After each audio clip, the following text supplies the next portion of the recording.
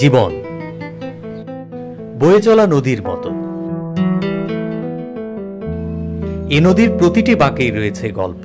আমার মনে হল যে অসাধারণ সুন্দর এই পৃথিবী অসাধারণ সুন্দর এই সূর্যাস্তের দৃশ্য। একদম আসক্ত হয়ে গেল কোনো গল্প মধুর কোনোটি বেদনার তাদের ঋণ আমি কখনো শোধ করতে পারব না। মানুষ যদি মন থেকে চায় ভাগ্যকেও পরিবর্তন করতে পারে। তাইওয়ানরা মেশিন বানায় ফ্যাক্টরি আমারও এরকম একটা ইচ্ছা আমি এরকম একটা ফ্যাক্টরি করার আমরা এই যে কৃষি কাজ এক মাস ধরে করি। তার যে অধিকারগুলো সে অর্জন করতে পারবে। অনেকের জীবনটা সুন্দর হতে পারে। আমি বড় হলে রোবট ইঞ্জিনিয়ার হতে চাই। জীবনের প্রতিটি গল্পই মূল্যবান। বাষট্টি ছাত্র আন্দোলনে আমি গ্রেপ্তার হই। জীবনের গল্প।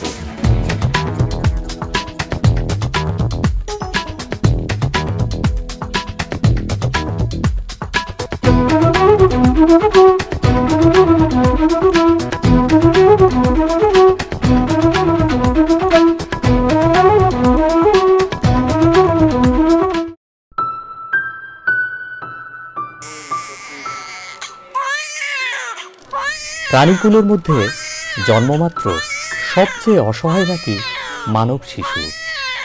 তবে অসহায় হলেও তাকে বরণ করে নেওয়ার জন্য ব্যাকুল সবাই।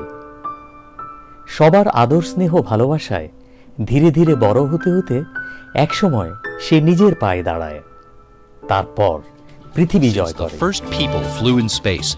For the first time ever on this vehicle, a pair of crew members is going to space. এরপর ধীরে ধীরে তার কর্মক্ষমতা কমতে থাকে।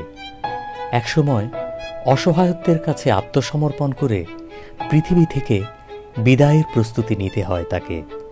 কিন্তু বিদায়ের আগে পৃথিবী জয়ী ভুবন বিখ্যাত মানুষেরও দেখা যায় বার্ধক্যের দিনগুলো খুব একটা ভালো যায় না। শেষ বয়সে যথেষ্ট অসহায়ভাবে অনেককে মৃত্যুর দিন গুনতে হয়। তবে একজন মানুষের মৃত্যুর পূর্ব পর্যন্ত প্রতিটি দিন, প্রতিটি মুহূর্ত সার্থকভাবে কাটানোর অধিকার তার জন্মগত। কিন্তু কজন সেটা পান? আর এজন্যে প্রবীণ মানুষের প্রবীণ জীবন যাতে সার্থক করে তোলা যায়, তার জন্যে কাজ করছে আন্তর্জাতিক সংগঠন হেল্পেজ ইন্টারন্যাশনাল। জীবনের গল্পের আজকের পর্ব প্রবীণ অধিকার ও প্রবীণদের গুরুত্ব নিয়ে। আর এ নিয়ে কথা বলতে আমরা এসেছি হেল্পেজ ইন্টারন্যাশনাল বাংলাদেশের কান্ট্রি ডিরেক্টর রাবেয়া সুলতানার পক্ষে। জীবনের গল্প অনুষ্ঠানে আমরা অনেক প্রবীণকে ইতোমধ্যে দেখিয়েছি যারা আজকের এই বয়সে এসে অনেক দুঃখ কষ্টের মধ্যে তাদের জীবন যাচ্ছে একাকিত্বের মধ্যে যাচ্ছে। তো আপনাদের কাজটার সম্বন্ধে জানতে চাই আপু। দেখুন একটি শিশুকে বরণ করে নিতে পরিবারের যে আয়োজন এবং তাকে বেড়ে উঠতে যে সহযোগিতা অসহায়ত্ব হয়, সে বলতে পারে না, তাকে হেল্প করতে হয়। কিন্তু এই যে তাকে শেখানোও কিন্তু একটা আয়োজনের ভিতর দিয়ে। আমরা কখনো শুনি না যে শিশুকে বেড়ে তুলতে বা বাড়ন্ত করতে বা বড় করতে যে আয়োজন হয়, একজন প্রবীণকে সেভাবে করে কখনো পরিবার বা সমাজ সেভাবে বরণ করে নেয়। খুব সাধারণ একটি এক্সাম্পল দেখেন। আপনি টোটাল মিডিয়ার দিকে তাকান টোটাল সমাজের দিকে তাকান। কোনো মিডিয়ায় কি একটি বিজ্ঞাপন দেখাতে পারবেন? যে, আপনি প্রবীণ হচ্ছেন, আপনার অভিজ্ঞতা এখন থেকে সবচেয়ে বেশি মূল্যবান। আসুন, আমরা প্রবীণের কদর করি। রাদার, আপনি থাউজেন্ডস এক্সাম্পল দেখবেন অ্যাড দেখবেন।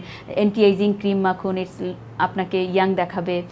চুল সাদা হয়ে যাচ্ছে, চুল কালো করুন। তাই তো? সো এইটা একটা সোশ্যাল পার্সপেক্টিভ একটা মানুষের যখন আয় থাকে, তার প্রতি অ্যাটেনশন তার চাহিদার প্রতি ডিমান্ড বা তাকে অ্যাড্রেস করা তাকে দৃষ্টি সীমানায় রাখা, তাকে রেসপেক্ট করা, এটাও কিন্তু আমরা কালচারালি শিখে বড় হয়েছি। এই মানুষটিরই যখন আয় ক্ষমতাটা থাকে না, পরের দিনই তিনি নেমে যান। যে কারণে এটা আমি হয়তো সবসময় বলি যে জীবনটা আসলে একটা খুব পিচ্ছিল পাওয়ারের একটা পথের উপরে আছে। মানে এবং যে কেউ যে কোনো সময় ওই পিচ্ছিল পথ বেয়ে নিচে নেমে যেতে পারে। এবং এটি হচ্ছে প্রবীণ মানুষের ক্ষেত্রে সবচেয়ে বেশি প্রযোজ্য একটি কথা। যে যে মানুষটি দুর্দান্ত তাপটের সাথে ছিল, দাপটের সাথে ছিল, সেই মানুষটি যেদিন থেকে তার আয় শেষ, যেদিন থেকে তিনি রিটায়ার্ড সেদিন ওই পিচ্ছিল পদ বেয়ে কেমন যেন নেমে গেলেন। পৃথিবীতে প্রবীণ মানুষের কথা বলা, প্রবীণ মানুষের ভয়েস যদি বলা হয়, তাহলে শুধু হেল্পেজ ইন্টারন্যাশনালকেই বলতে হবে। হেল্পেজ পৃথিবীতে এখন চুয়াত্তরটি দেশে আমরা কাজ করি। আমরা একশো চোদ্দোটির মতো অ্যাফিলিয়েট অর্গানাইজেশনের সাথে আমরা কাজ করি। আমাদের কাজের মূল জায়গাটি যেটা, সেটি হচ্ছে বিশ্বে যত প্রবীণ আছে, আমরা প্রবীণ বলতে তো ষাট বছর বা তদূর্ধ্ব জনগোষ্ঠীকে বুঝি। বিশ্বে যত প্রবীণ আছে, তাদের প্রত্যেকের বার্ধক্যের সময়টা মর্যাদাপূর্ণ হবে। এটা হচ্ছে আমাদের একমাত্র কাজের লক্ষ্য। বাহ অসাধারণ আমার খুব ভালো লাগল। এবং এই যে মর্যাদাপূর্ণ হবে সেই মর্যাদাপূর্ণ হওয়ার জন্য কিছু আমাদের কিছু সেক্টরাল প্রায়োরিটি আছে যে আমি কোন সেক্টরে ফোকাস দিলে প্রবীণ মানুষের বার্ধক্য মানে বার্ধক্য সময়টা তিনি যেমন মর্যাদায় ছিলেন তেমনই থাকবেন। এক নম্বর হচ্ছে তার এই বয়সে এসেও যেন তার লাইভলিহুড বা ইনকামটা ঠিক থাকে। এবং সেই ইনকামের জন্য আমরা দুই ধরনের কাজ করি। একটা হচ্ছে প্রবীণ বা বয়স্ক ভাতা যেটি আছে সেই ভাতাটি যেন রাইট পারসন পায় প্রবীণ মানুষ পায় সেটি নিয়ে আরও বেশি সরকারের সাথে আমরা কাজ করি। এই মুহূর্তে কিন্তু বাংলাদেশে প্রায় পঁয়ত্রিশ লক্ষ প্রবীণ এই ভাতাটি পাচ্ছে। পঁয়ত্রিশ লক্ষ? আমাদের মোট জনসংখ্যার এক কোটি চল্লিশ লক্ষ আছে প্রবীণ এই মুহূর্তে। দু হাজার পঞ্চাশ সালে আমাদের মোট জনসংখ্যার প্রায় সাড়ে বিশ পার্সেন্ট সাড়ে কুড়ি পার্সেন্ট কিন্তু প্রবীণ হয়ে যাবে।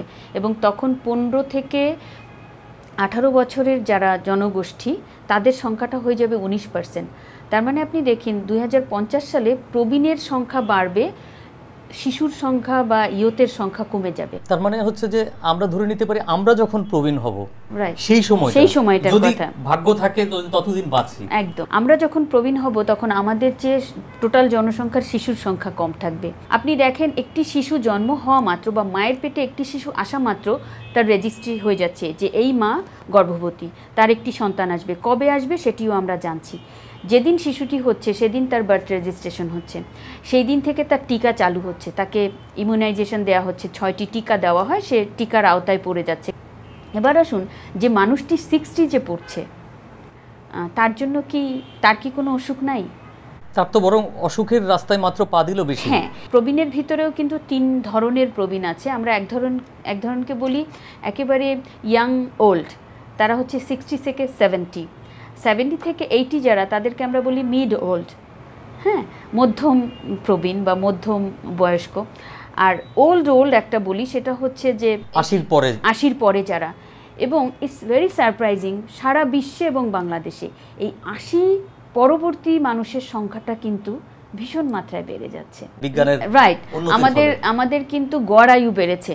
আমরা যুদ্ধ পরবর্তীও বলতাম বাংলাদেশে মানুষ পঞ্চাশ বছর পঞ্চান্ন বছর বাঁচে। কিন্তু এখন আমরা খুব করে বলি আমাদের হেলথ সিস্টেমের ডেভেলপড হয়েছে আমাদের খাবার গ্রহণ করার ক্যাপাসিটি বেড়েছে। আরও অনেক কিন্তু সুযোগ সুবিধা বেড়েছে যেগুলি আপনাকে দীর্ঘায়ু করার জন্য যথেষ্ট। এবং যে কারণে এখন এই মুহূর্তে নারীরা গড় আয়ু পাচ্ছেন প্রায় বাহাত্তর বছর পুরুষরা পাচ্ছেন একাত্তর বছর। যদি তাই হয়, এটা গড়। কিন্তু বাংলাদেশেও দেখা গেছে যে এই যে এইটি প্লাস এই জনসংখ্যাটা কিন্তু বাংলাদেশেও বেড়ে গেছে। এবং যদি সেই বারে বা আমি ধরেন সিক্সটি প্লাসই ধরলাম সিক্সটি প্লাস তো আমরা প্রবীণ বলছি, এই সংখ্যাটা যেভাবে বাড়ছে, এই মানুষের রোগবালাইও কিন্তু সাথে সাথে তার সাথে বাড়ছে। এবার আসেন প্রবীণ মানুষের খুব কমন কিছু রোগ। তার ভিতরে একটা আছে ডায়াবেটিক একটা আছে হাইপারটেনশন একটা আছে ব্লাড প্রেশার আমরা যদি বলে থাকি আমরা হান্ড্রেড পার্সেন্ট পোলিও নির্মূল করতে পেরেছি। যেভাবে শিশুর জন্য ইমিউনাইজেশন আছে ছয়টি টিকা সেভাবে প্রবীণের জন্য অ্যাটলিস্ট ডায়াবেটিক হাইপারটেনশন আর প্রেশার এই তিনটি মেডিসিন ওইভাবে ইপিআইয়ের মতো করে ফ্রি যিনি সিক্সটিতে পড়ছেন তার ওই দিন থেকে ওই মেডিকেশন ফ্রি হবে সরকারি পর্যায় থেকে। নিশ্চয়ই এটা একটা দারুণ মানে দাবি হতে পারে। এটি সময়ের দাবি এই কারণে কারণ আপনি দু হাজার পঞ্চাশ সালে শিশুর তুলনায় প্রবীণ বেড়ে যাচ্ছে। আপনার প্রবীণ বয়সটাকে কি কি আপনি বোঝা করে রাখবেন না প্রবীণকে আপনি হিউম্যান রিসোর্সে পরিণত করবেন, মানব সম্পদে? কারণ একটা মানুষের সিক্সটি বা ষাট বছর বয়সে কিন্তু কর্মক্ষমতা হারিয়ে যায় না। বরঞ্চ আরও নতুন কর্ম করার উদ্যম তৈরি হতে পারে। ওই মানুষটি সিক্সটিজে এসে সমাজকে নতুন করে দিতে পারে। আমরা যদি স্টিফেন হকিংয়ের কথা চিন্তা করি, তার তো ব্রেন ছাড়া আর কিছুই কাজ করছে না। এবং এই ব্রেন দিয়েই উনি যে তত্ত্বগুলো আমাদের জানাচ্ছেন পৃথিবীর শ্রেষ্ঠ বিজ্ঞানী তিনি। তো তাহলে আমি আমার প্রবীণদেরকে কেন তাদের এই জ্ঞান, তাদের এই অভিজ্ঞতাকে কেন আমরা কাজে লাগাচ্ছি না? এই যে লাগাচ্ছি না, এই জায়গাটাতেই হেল্পেজ আমরা কাজ করছি। হেল্পেজ বাংলাদেশ আমরা দু সাল থেকে আমাদের কান্ট্রি অফিসের মাধ্যমে কাজ করছি। কিন্তু বাংলাদেশে আমরা আমাদের অ্যাফিলিয়েটের সহায়তায় অ্যাফিলিয়েট বলছি আমাদের সহযোগী সংগঠন অ্যাফিলিয়েটের সহায়তায় আমরা কাজ করছি আর্লি নাইনটিস থেকে। এবং আমরা একেবারে সুনির্দিষ্টভাবে যে কাজগুলি করি আমি শুরু করেছিলাম যে একটি হচ্ছে তার জীবন, তার আয় বহমান থাকবে, তার আয় ছেদ হবে না, সেটি সরকার থেকে পেনশন হোক, আর তিনি নিজে ছোট ছোট কাজ করে তার আয় চলমান রাখুক। কারণ আয়ের সাথে প্রবীণের মর্যাদা, সম্মান এটি ব্যারোমিটার ওঠানামা করে। দ্বিতীয়টি হচ্ছে, একজন প্রবীণ যেন বলতে পারেন যে, আমি গুণগত মানসম্পন্ন স্বাস্থ্য সেবা পাচ্ছি। তৃতীয়ত আমরা যেটা করছি, সেটা হচ্ছে প্রতিটি প্রবীণ সে পরিবারের সাথে থাকুক, সন্তানের সাথে থাকুক, যার সাথেই থাকুক, তিনি যেন বলতে পারেন যে, আমি কোনো প্রকার বৈষম্য এবং নির্যাতনের শিকার নই। এই গেল আমাদের তিন নম্বর কাজ। চার নম্বরটি আমরা যে কাজটি করি সেটি হচ্ছে প্রত্যেকটি প্রবীণ যেন বলতে পারেন যে আমার কথা শোনা হয়, আমার কথা মর্যাদার সাথে গ্রহণ হয়, আমি সিদ্ধান্ত নিতে পারি। আমি আমার নানা নানি আমা- আমরা একসঙ্গে ছিলাম।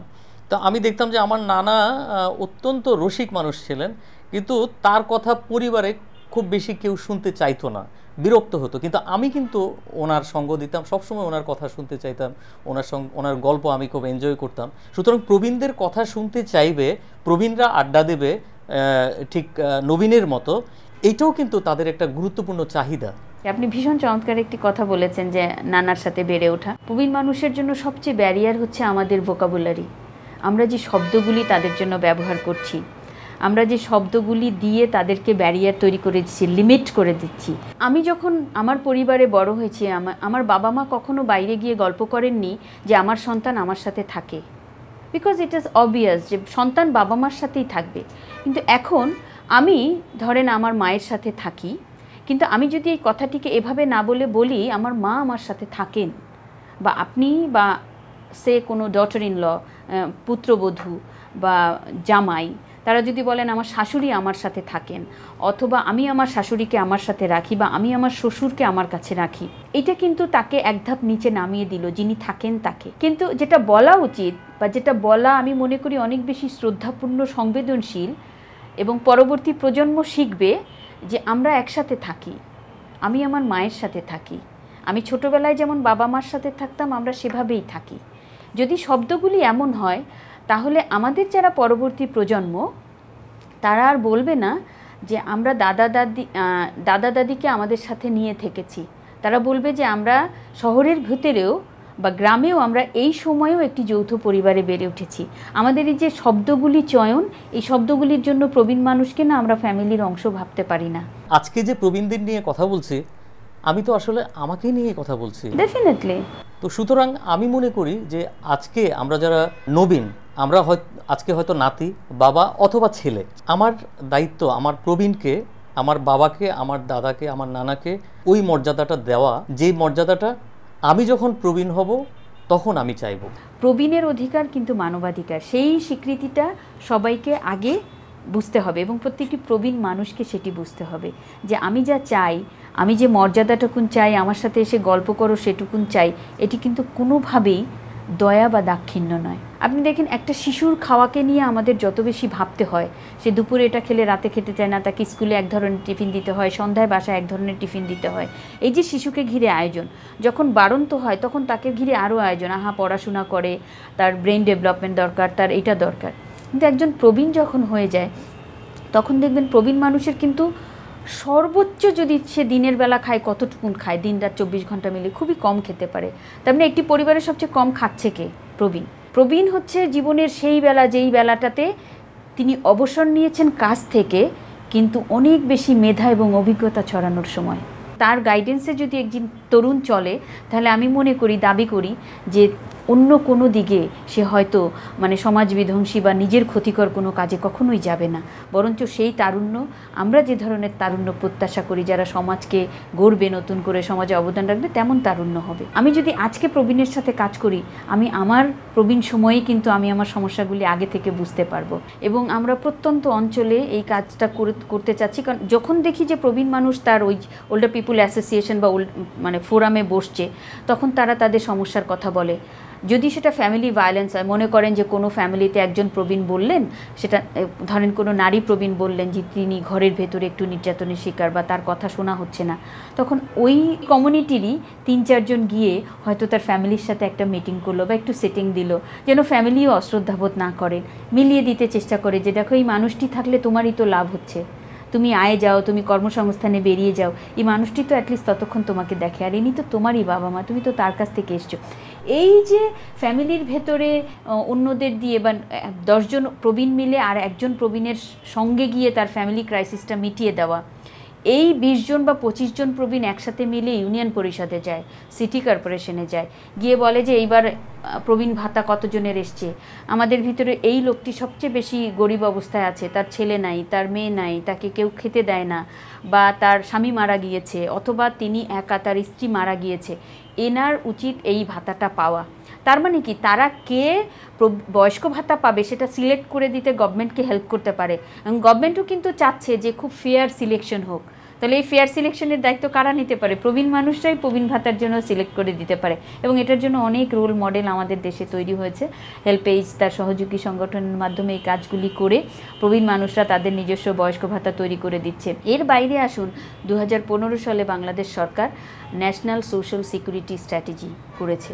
এবং এই প্রথমবারের মতো সেই স্ট্র্যাটেজির ভিতরে প্রবীণ মানুষের জন্য সরকার কি করতে পারবে, কেন করতে হবে এবং এই যে লাইফ সাইকেল অ্যাপ্রোচ প্রবীণ মানুষ যে পরিবারের ভিতর থেকে শিশু বয়স্ক মানে কিশোর কিশোরী বয়স্ক তারপরে প্রবীণ এই যে সাইকেলটাকে মাথায় রেখে যে সরকার সকল সেফটিনেট প্রোগ্রামটি আয়োজন করেছে একবারও বলছি বাস্তবায়ন নিয়ে এখনও আমাদের কথা রয়েছে। কিন্তু যেহেতু আইন হয়েছে নীতিমালা হয়েছে বাস্তবায়ন তো হবে। নিশ্চয়ই শুরু তো হয়েছে। শুরু তো হয়েছে। এটাই তো ছিল না আগে। দেখুন পিতামাতার ভরণ পোষণ আইন এখনও এটার বিধিমালা চূড়ান্ত হয়নি। কিন্তু বাংলাদেশে অলরেডি এখন পর্যন্ত more than thirteen cases file হয়েছে। প্রবীণ জনগোষ্ঠী তিনি জানেন শুধু যে আইনটি হয়েছে, আইনের বিধিমালা চূড়ান্ত হয়নি, আইন বাস্তবায়ন শুরু হয়নি।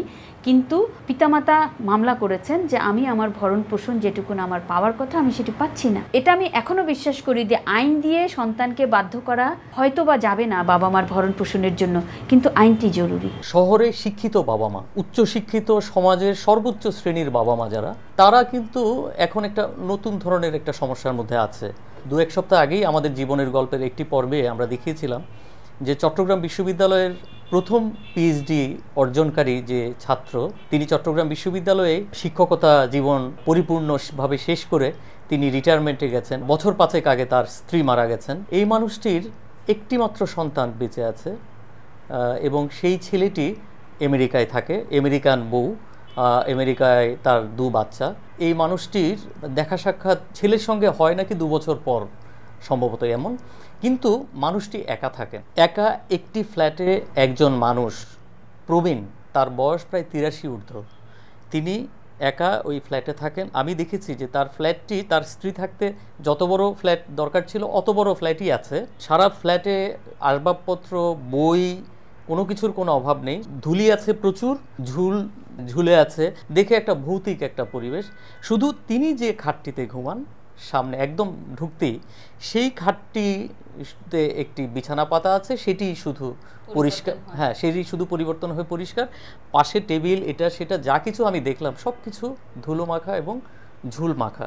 আমার প্রশ্ন হচ্ছে এই যে বাবা এই বয়সে যদি নাতি নাতনি সন্তানদের সঙ্গে যদি তিনি থাকতে পারতেন এই যে একটা পরিপূর্ণ যে জীবন সেটা থেকে তো তিনি বঞ্চিত। এ ধরনের বঞ্চনার শিকার আমাদের অনেক বাবা মায়েরা এটা নিয়ে কি চিন্তা? এটা তো একেবারে পরীক্ষিত বঞ্চনা যে একা থাকতে হচ্ছে। এবং এটাও সত্য যে আমি এখন আমার সন্তানকে পড়াচ্ছি সে একসময় উচ্চশিক্ষায় যাবে। প্রত্যেকটা বাবা মা কিন্তু সন্তানকে এভাবেই মানুষ করে যে, আমার সন্তানটি উচ্চশিক্ষায় যাবে, আমার সন্তানটি সমাজে প্রতিষ্ঠিত হবে, আমি যেটা পারিনি, আমার সন্তান সেটি করে দেখাবে। এই ভরসায়, এই স্বপ্ন নিয়েই তো ছেলে মেয়েকে মানুষ করি আমরা। এবং তারা চলে যায়। কিন্তু একটা সময় গিয়ে জীবনের তাগিদে সময়ের তাগিদে দূরেও চলে যায়। একমাত্র সমাধান বলে আসলে কিছু নেই। যেটা হতে পারে হ্যাঁ আমি যেখানে আছি আমি আমেরিকায় থাকি আমি কানাডায় থাকি আমি কি বাবা মাকে নিতে পারি না সেখানে? যদি কিন্তু বাবা মা তো সব বাবা মা যেতে যেতে চান না। তার জন্য তো অনেক ব্যবস্থা আছে তাই না? তাকে কীভাবে আরও এক্সটেন্ডেড ফ্যামিলির সাথে ইন্টিগ্রেট করে দেওয়া যায়? আমি এখানে একটি তথ্য দিতে চাই। দেখুন দূরে থেকেও কিন্তু কাছে থাকা যায়। বিশেষ করে প্রবীণ মানুষের ক্ষেত্রে। আমি অনেক দূরে বসবাস করি হয়তো শরীরটি নিয়ে, কিন্তু আমি যদি মন দিয়ে মনে করি যে আমি কাছে, তাহলে কিছু হলেও এটি করা সম্ভব। আরেকটি গবেষণার তথ্য দেই, সে এটি সম্ভবত মালয়েশিয়াতে হয়েছে, আমি আরেকটি উপস্থাপনায় পেয়েছি। যেই প্রবীণ মানুষ পরিবারের ভিতরে মানসিকভাবে অনেক ভালো থাকেন, শ্রদ্ধায়, ভালোবাসায় থাকেন, তার শারীরিক অসুখ অনেক কম থাকে। আমি পার্সেন্টেজটি বলছি না।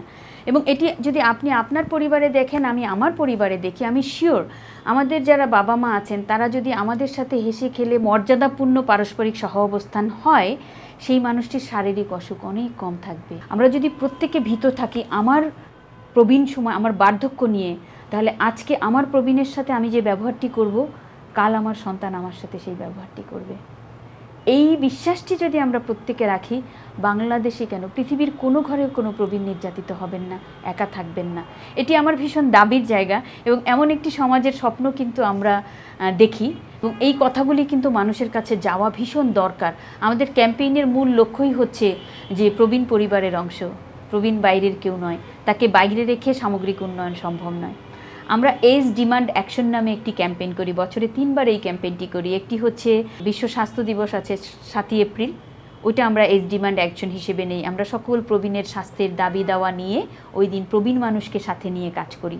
পনেরোই June world elderly abuse awareness day এটা ইউএনেরই ডাব্লিউএইচও এবং ইউএন একসাথে করে এই দিবসটি দু হাজার সাত সাল থেকে সেলিব্রেট করছে। আমরা বাংলাদেশে প্রতি বছর করি। এবছরও আমরা প্রচুর কাজ করেছি এই দিবসটি নিয়ে। কেন কি? একটু সচেতন হোক। মিডিয়া এগিয়ে আসুক, প্রবীণ মানুষকে নেগেটিভ রোলে না দেখাক প্রবীণ মানুষের দুঃখী চেহারা না দেখাক। একজন প্রবীণ মানুষ শুধু কি নির্যাতিত হন? এমন কোনো পরিবার নাই যেখানে অনেক ভালো আছেন একজন প্রবীণ, যার মর্যাদার দাম হচ্ছে, যার আয়কে সবাই সেলিব্রেট করছে। বা একটি ছেলে তার বাবাকে খুবই শ্রদ্ধা সম্মান ভালোবাসায় রেখেছে। এমন গল্প কি আমরা প্রত্যেকে মিলে চালাতে পারি না? হ্যাঁ অবশ্যই পারি এবং আমরা এমন গল্প প্রচার করতে চাই আমরা এমন গল্প খুঁজছি। আপু আপনার কাছে যদি থাকে আপনি আমাকে এরকম গল্প বলবেন। জীবনের গল্প অনুষ্ঠান এটি আমরা চেষ্টা করি যে পজিটিভ গল্পে এটি এই অনুষ্ঠানটিকে সাজাতে। কিন্তু তবুও কিছু কিছু নেগেটিভিটি আমাদেরকে খুবই আক্রান্ত করে। তখন আমরা উপায়ান্তর না পেয়ে তখন মনে হয় যে না, যদি এটা দেখে, কারও যদি চৈতন্যের উদা, উদয় হয়, কোনো সন্তান যদি তার বাবার এই অবস্থা দেখে যদি ফিল করে যে না আমি ভুল করেছি বা আমার এখন উচিত আমার বাবার দায়িত্ব নেওয়া।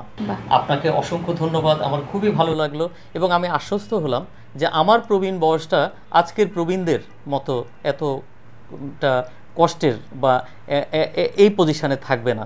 আমার প্রবীণ বয়সটা যখন আসবে তখন আমরা অনেক সুন্দর প্রবীণদের জন্য ব্যবস্থা নিশ্চয়ই করতে পারব এবং সেই লক্ষ্যে আমরা তরুণরা আজকে কাজ কর- করার চেষ্টা করছি। আপনি কাজ করছেন হেল্প পেজ ইন্টারন্যাশনাল কাজ করছে। প্রবীণ রাষ্ট্রের বোঝা হতে পারে না, প্রবীণ কোনো পরিবারের বোঝা হতে পারে না। প্রবীণ হতে পারে একটি সম্পদ। আসুন আমরা প্রত্যেকে মিলে পরিবারের ভেতরে সেই সম্পদটি খুঁজি এবং সেই সম্পদের সঠিক ব্যবহার করি। আজকের প্রবীণকে শ্রদ্ধা করলে আপনার প্রবীণ সময়টি আরও বেশি শ্রদ্ধাপূর্ণ হবে, আরও বেশি ভালোবাসাপূর্ণ হবে। এভাবেই বিশ্ব বদলে যাবে। দেখা হবে আগামী পর্বে নতুন কোনো জীবনের গল্প নিয়ে। যুক্ত থাকুন আমাদের ফেসবুক পেজে মেইল করুন জীবনের গল্প two thousand fourteen at Gmail dot কমে জানান আপনাদের অনুভূতি শেয়ার করুন নিভৃতে থাকা কোনো মহৎ মানুষের কথা। জীবনের গল্প অনুষ্ঠানে আমরা তুলে ধরতে চেষ্টা করব তার মহৎ জীবনের গল্প।